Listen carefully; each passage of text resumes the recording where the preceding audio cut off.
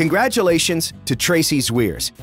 Tracy was part of the team that coached the Special Olympics Canada figure skating team to five qualified medal finishes at the Special Olympics World Games in Austria 2017. Elle s'implique auprès des Olympiques spéciaux depuis plus de 10 ans, encourageant les athlètes à maintenir un mode de vie sain et actif tout en les poussant à atteindre leurs objectifs. Congratulations, Joanne Zaheko.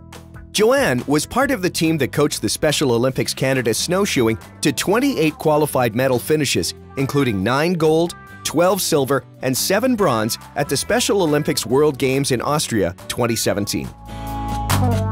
Motivée par son énergie et sa passion pour l'entraînement, elle s'implique auprès des Olympiques spéciaux depuis 24 ans et a contribué à créer d'innombrables expériences positives pour ses athlètes. Congratulations, Ron Stroche.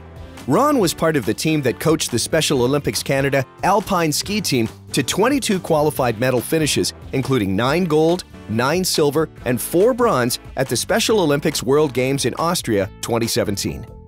Sa passion pour l'entraînement l'a poussé à devenir l'entraîneur-chef du seul club de ski alpin au Manitoba et lui a permis de forger de longues amitiés grâce à son implication auprès des Olympiques spéciaux.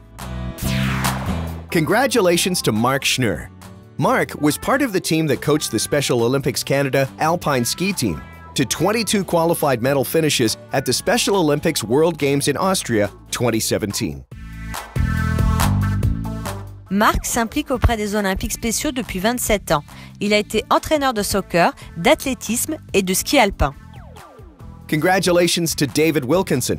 David was part of the team that coached the Special Olympics Canada snowshoeing to 28 qualified medal finishes, including 9 gold, 12 silver, and 7 bronze at the Special Olympics World Games in Austria 2017. He's been involved with Special Olympics for 11 years. Il motive ses athlètes à faire de leur mieux et fait naître en eux un sentiment de confiance, de fierté et de respect, ainsi qu'un sens de la communauté grâce à la compétition à l'échelle internationale.